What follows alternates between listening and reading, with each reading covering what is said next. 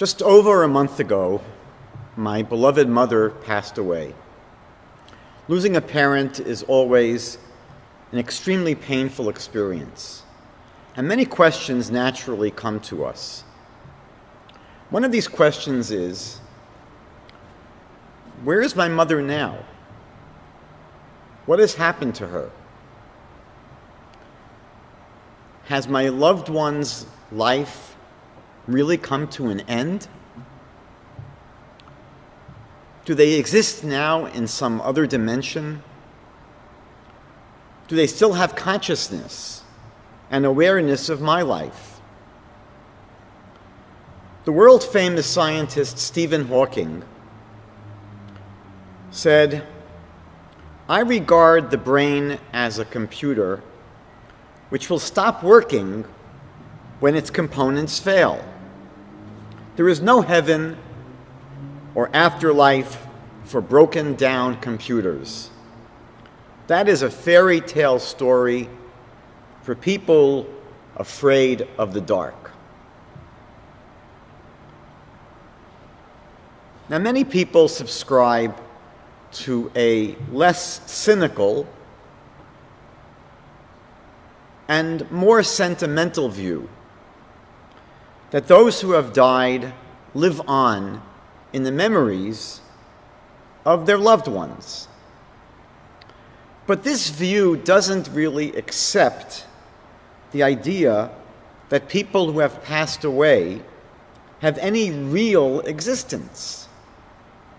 Because once their family and their friends pass away, the memory of the dead will eventually fade away for everyone except for those who are supremely famous. Many people shy away from the idea that people don't really die. Only their bodies decompose, but their true selves, their souls, continue to exist.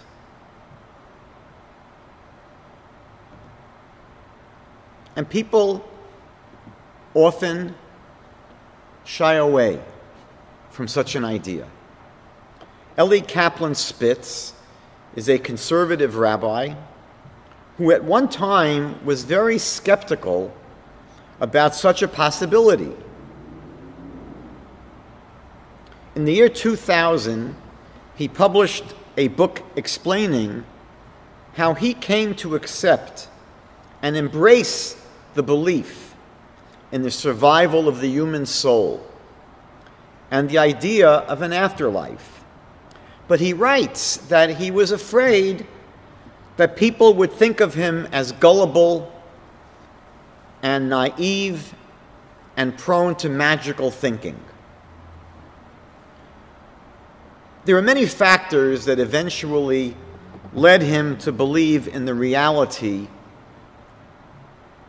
of the immortality of the soul. One of them was the extensive research by academics and scientists over the past 50 years into near death experiences. The British medical journal Lancet published a report in the year 2001 about life after death.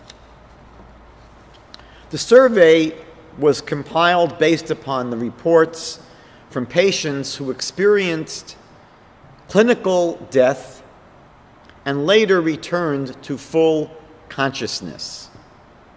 One of the most compelling aspects of this and other research on near death experiences is that virtually identical experiences have been had by people of vastly different backgrounds from all over the world. And these people spoke of being disconnected from their bodies and having profound feelings of peace and calm. Many of the subjects spoke about having a panoramic vision and experiencing their entire lives flashing before them. Most of these people described seeing an awesome light and a feeling that they no longer existed in a body that they once had existed in. And the light radiated warmth and love. Other researchers discovered that a significant percentage of people who were pronounced dead but later came back to life related that when they left their bodies, they passed through a dark tunnel before experiencing this great light. Many of those interviewed reported meeting relatives or friends coming to greet them. Some spoke of encountering beings of light that guided them on their journey. Another common experience was being given an entire life review in one moment from birth until death. Finally, subjects spoke about being given a choice between completely dying or returning to life. And they all preferred going back to their lives, despite the awesome peace and pleasure that they experienced in the other world. And they all gave similar reasons for wanting to return. Number one, for the sake of their friends and relatives that were left behind. Secondly, because they felt they had not yet completed their mission in this world, or they wanted to fix something that they had damaged. Or third, they simply didn't feel that it was their time to leave this world. But all of those who returned said that as a result of the experience that they had, they understood that each person has a purpose in their life. And that purpose is not simply to pursue existence on a physical plane. Dr. Raymond Moody is a psychiatrist at the University of Virginia, was a psychiatrist, and he was a pioneer in the research of near death experiences. In his book, Life After Life, he deals with various theories that attempt to explain near death experiences by natural means. These include the possibility of the effects of medications taken by people at the time of their deaths, and various psychological explanations and suggestions of delusions, of dreams, or of hallucinations. Moody dismantled each of these explanations directly and effectively. For example, he points out that most of those interviewed in these studies never received any medication prior to their deaths. In addition, the fact that thousands of people of very different backgrounds and places of origin all over the world had essentially the same experiences precludes the possibility of a natural explanation. The strongest reason for Moody to reject these skeptical theories is that many of those who died, these clinical de- deaths, were able to report facts and details about what happened to them when they were completely unconscious, which they had no way of knowing about. And yet somehow these people returned from the dead and we were able to report on these things. Another American psychiatrist, Elisabeth Kubler Ross, has seriously researched near death experiences for over 20 years. And she said, I know beyond a shadow of the doubt that life continues after physical death. She wrote, I am very skeptical at heart, and that is why I tested every aspect of this phenomenon with rigor. I discovered, for example, people who were blind from birth, describing to me with incredible precision what various people in the room with their body were wearing, the jewelry they had on, and what they did in the room. How could they have known that? Kubler Ross collected 20,000 anecdotes of near death experiences while she served on the faculty of the University of Chicago. Aside from the incredible reality that these same kinds of experiences have been reported by many thousands of people from vastly different backgrounds from all over the world, what is even more astounding is that ancient Jewish teachings, going back nearly 2,000 years, describe the experiences of death in these very same contours. And this was long before scientific explorations of near death experiences. I'll share a few examples. Number one, the Talmud recounts stories of people who died and came back to life. Many such stories. One was someone who was actually buried and later found alive in the cemetery and who went on to live 25 more years. Ancient mystical writings such as the Zohar describe how those who die see a great and powerful light that emits endless love and communicates with them telepathically. Number three, our ancient literature describes how the dead see scenes of their lives passing before them in rapid chronological order. The Zohar explains that relatives and friends who died previously come to greet the person who has passed away. And the person speaks with them, and they accompany the new soul on its journey. The sages describe how the dead can perceive everything taking place around their bodies following their deaths. And the Talmud is replete with stories of how the souls of those who have passed on communicate with people who are still alive.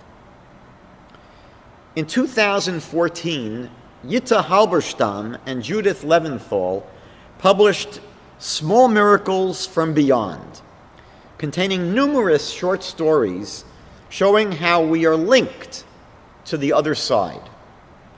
One of these stories was about a farmer named James Chaffin from North Carolina. And in 1921, he passed away, and his will stipulated that upon his death, his entire estate would pass to his son Marshall. Incredibly, his widow and three other sons were left with nothing. This was inexplicable because the entire family always lived together with wonderful relations. However, Marshall didn't end up living long enough to enjoy the fruits of his inheritance. And a year later, he died, and everything was now left to his wife and their lone son. In the afterlife, the senior Mr. Chaffin came to realize that he committed a terrible injustice by disinheriting the rest of his family. So, four years after his death, he began making frequent appearances in the dreams of his second son, James Jr. In these dreams, he would stand looking depressed and mournful at his son's bedside, and he didn't say a word. Now, this was unusual because when he was alive, the senior Mr. Chaffin was a tremendous chatterbox. And these visitations continued for several weeks in exactly the same manner until one night the dream changed. This time, James Sr. came to his son's bed dressed in an old black overcoat. His son recognized the coat right away. It was his father's overcoat that was frayed after many years of use.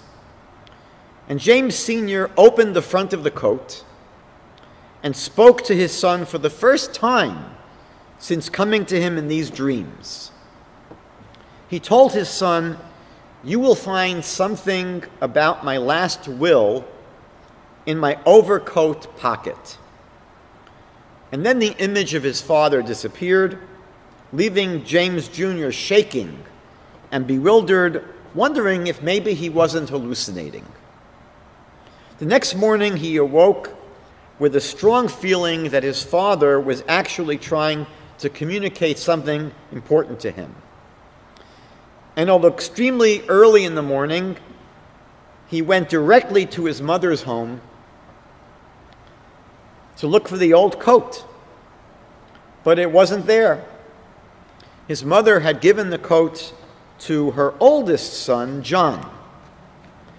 And John had moved away to a nearby county.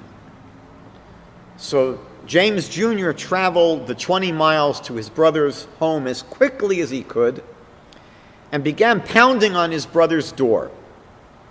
He excitedly told his brother about the dream from the night before, and the two brothers tore apart the farmhouse for the old coat until they finally found it. At first, they couldn't find anything in any of the pockets. But James Jr. continued to inspect the coat closely, rubbing his fingers over every single inch of the fabric. He finally realized that the inside lining of the coat was cut open and restitched. Sure enough, inside the lining was a piece of paper rolled up and tied with a string. It wasn't a will, it wasn't any kind of document. It was just a small slip of paper that had a few words scribbled on it. The words said, Read the 27th chapter in the book of Genesis from my daddy's old Bible. Now, the note was clearly written in James Sr.'s distinctive script, the way everyone remembered how he signed his name in a very unique scrawl. So, James Jr. headed back to his mother's home, and she said she remembered the Bible, but she had no idea where it might be. So, they exhaustively searched through the entire house from room to room going through closets and cupboards, drawers, cabinets. Finally, at the bottom of an old chest in an upstairs room, they found the old Bible. It was somewhat rotted and in pieces, and they turned to Genesis chapter 27 and found two pages folded to form a pocket. Inside was a piece of paper in James Sr.'s unique and verifiable handwriting. And it had the following note After reading the 27th chapter of Genesis, I, James Chaffin, do make my last will and testament. And here it is. I want, after giving my body a decent burial, my property to be equally divided between my four children. And if she is still living, you must take care of your mommy. Now, this is my last will and testament. Witness my hand and seal, January 16th, 1919. Now, the original will had been written years earlier, but apparently, after seeing the tragic results of an elder son getting disinherited in Genesis chapter 27, he had a change of heart, and he drew up a new will two years before passing away. When the family showed this second will to Marshall's widow, she immediately agreed to settle the case out of court, and an amicable settlement was reached in the, judge, in the judge's chambers. Now, we see phenomena in nature illustrating the reality that existence does not end with death. For example, when a seed is planted into the earth, it completely decomposes and rots before eventually emerging as a tree. It's interesting that in Deuteronomy chapter 20, verse 19, man is compared to a tree. Caterpillars are born on the kind of leaf that they naturally will eat for nourishment. And caterpillars will consume these leaves until they reach full size, and then they stop eating. They then hang upside down from a leaf or a twig, and they spin themselves a silky cocoon or they molt into a shiny chrysalis. The chrysalis seems to disintegrate, and it looks like the end of whatever was inside of there. But eventually, its body has been radically transformed inside the chrysalis, and the former caterpillar emerges from its sack of goo into a beautiful butterfly.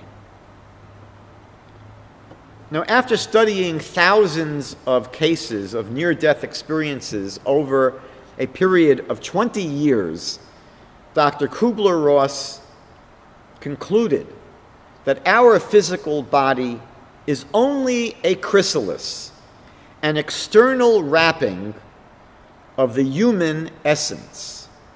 The true inner persona, the butterfly in man, is freed at the moment of death.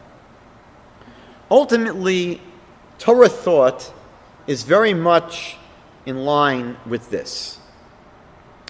People often give their assent to the idea that they have a soul. People will say, Yes, I have a soul. But the truth is that we don't have a soul. We are a soul and we have a body. We are a soul. We have a body. Our essence is our soul. We are a soul before we are born and start our career in this world, and we are a soul after this life comes to an end. This is what King Solomon states in his book Koheles, Ecclesiastes, chapter 12, verse 7. He writes, The dust returns to the ground as it was, and the spirit returns to God who gave it. When the Almighty created human beings, we were made as composite beings. Genesis chapter 2, verse 7 says that God formed man out of the dust of the ground and breathed into his nostrils the soul of life, and man became a living being.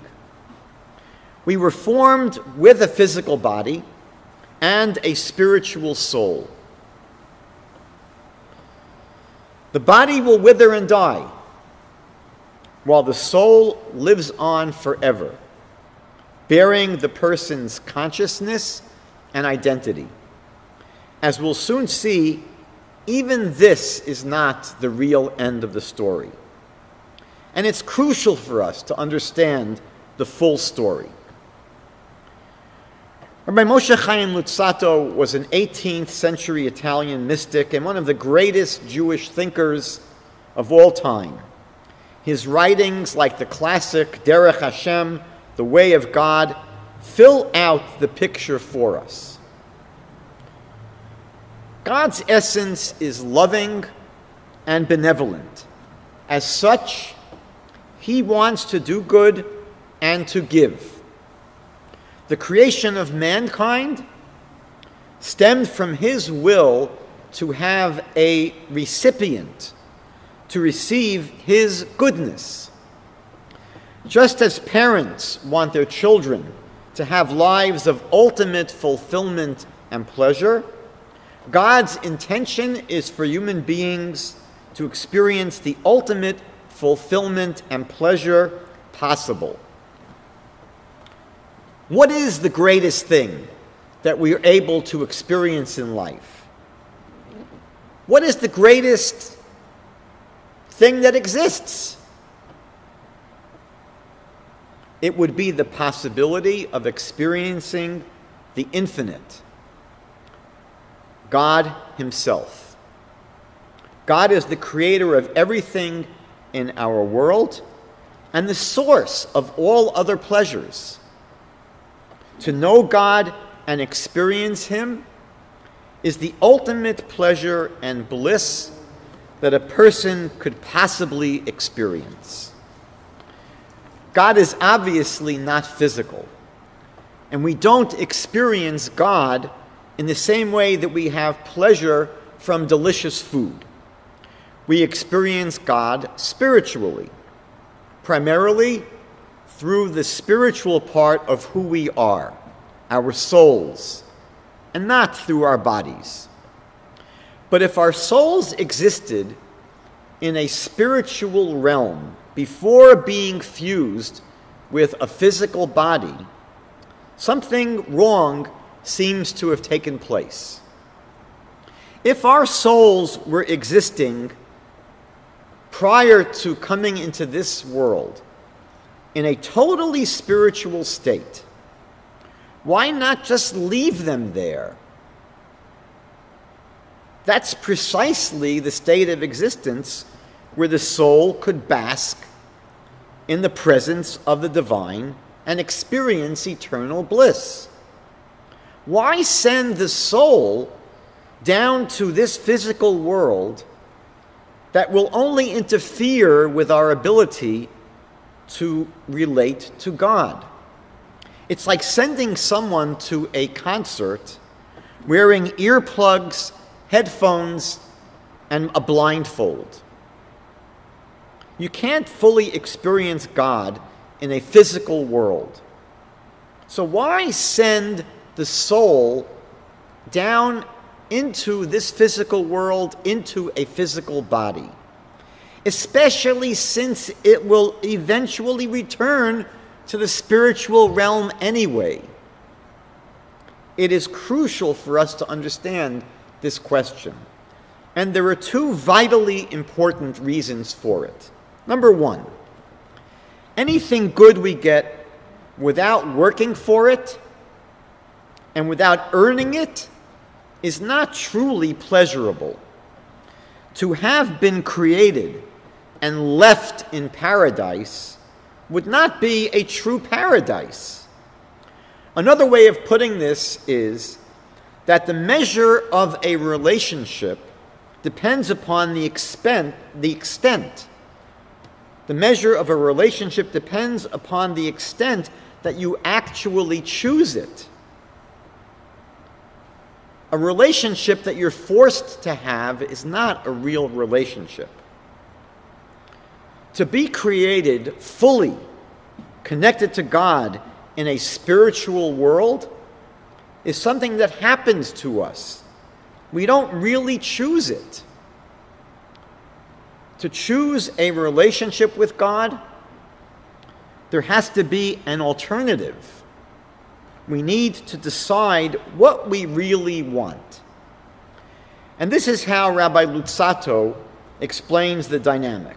He writes The highest wisdom decreed that man should consist of two opposites. These are his pure spiritual soul and his unenlightened physical body. Each one is drawn to its nature, so that the body inclines toward the material, while the soul leans toward the spiritual. The two are in a constant state of battle. If the soul prevails, it not only elevates itself, but it elevates the body as well and the individual attains his destined perfection. If he allows the physical to prevail, then besides lowering his body, he also debases his soul. Such an individual makes himself unworthy of perfection and separates himself from God. He still has the ability, however, to subjugate the physical to his soul and intellect and thereby achieve perfection. Human beings always have the possibility of rectifying their mistakes, of returning on the proper path. Now, the sages speak, our sages speak, of the compound being created of physical dust and spiritual breath with the imagery of a horse and its rider. The horse is basically all body, it's all physical. All it wants to do is to eat and to drink and to sleep and to mate with other horses and to run around and to play. That's all the horse wants to do. Our bodies are not evil, but letting our horse lead us through life is. But we are not the horse, we are the rider. The rider has a horse, much in the same way that we are a soul and our soul has a body. The rider is all about the destination. The rider has places to go. The rider has to take care of its horse. And we have to take care of our bodies. The rider seeks to train the horse and to direct it towards their destination. Similarly, we have to train our bodies and lead the way. But just like the rider needs a horse to get anywhere, our soul needs our bodies to get anywhere. The goal is for the horse and the rider to get close to each other so that they can work together in tandem, so that they're no longer struggling one against the other. Because the truth is, the horse can come to want to serve its master. Now, the truth is that our bodies tend to speak louder than our souls. Our bodies speak to us in the first person. I'm tired. I'm hungry. I'm thirsty. But our soul usually speaks to us in the third person. You know, you should pray. You know, you should study some Torah now. You should give some charity today. The body speaks in the first person I'm hungry.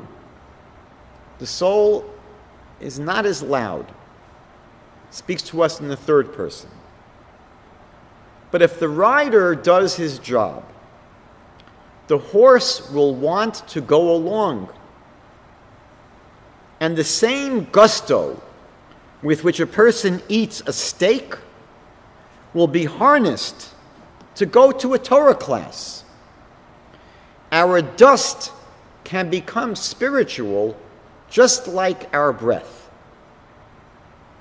When the rider is able to train his horse to work in tandem with him, he has succeeded in the struggle and the test of life.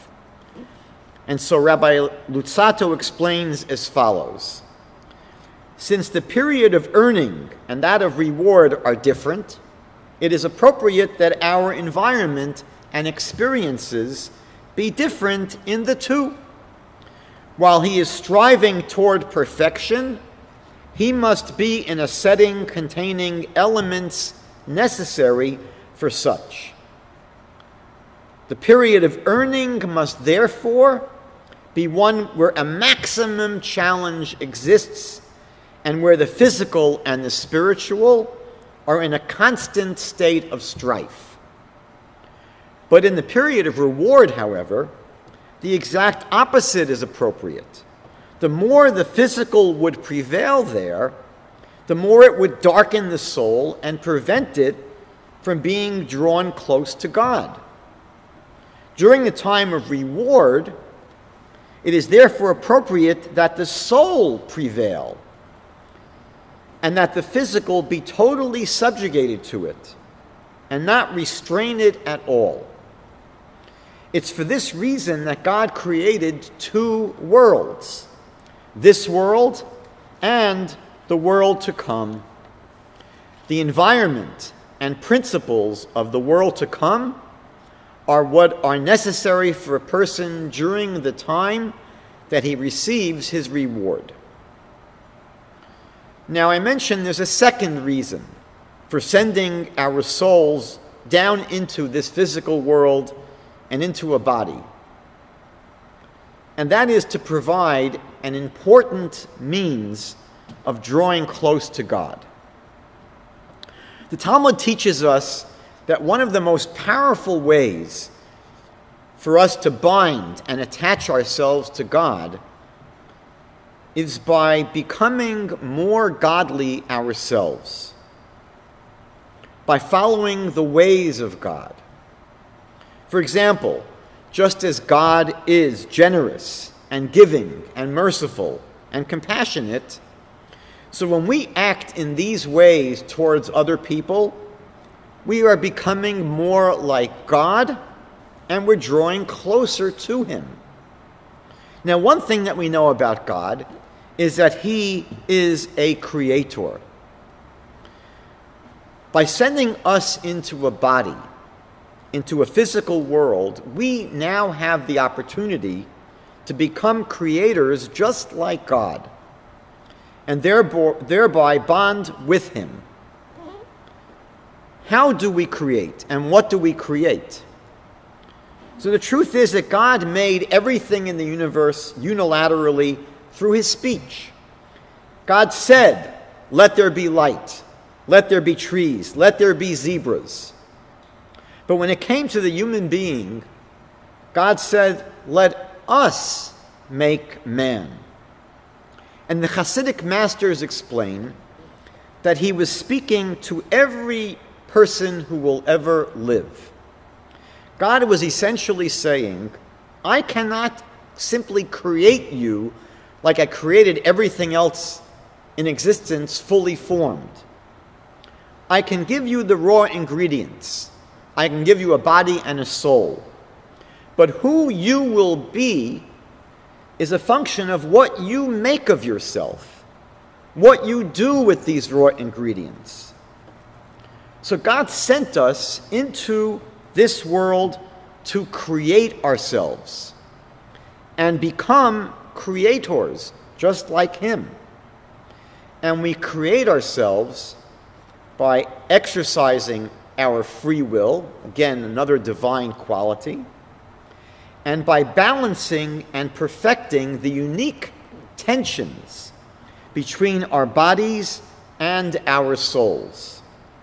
And in becoming creators and actualizing our potential, we resemble God and draw closer to Him, which is the ultimate goal of why we were alive in the first place.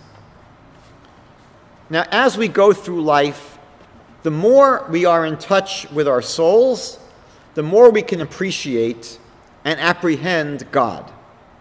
The Talmud in Tractate Brachot 10a teaches that just as God fills the entire universe, our soul fills our entire body. And just as God sees but is not seen, so too our soul sees but is not seen. Just as God gives nourishment to the entire world, our soul gives nourishment to the entire body. Just as God is pure, so too the soul is pure. Just as God dwells in the inner chambers, so too does the soul dwell within the inner chambers. And the Talmud concludes by saying, Let the one who has these five qualities come and praise the one who has these five qualities. Now, there is a difference of opinion among our sages about the ultimate disposition of the soul. Maimonides, who was a rationalist living in the 12th century, maintained that the world to come is where a person's soul goes after they die. It's called the world to come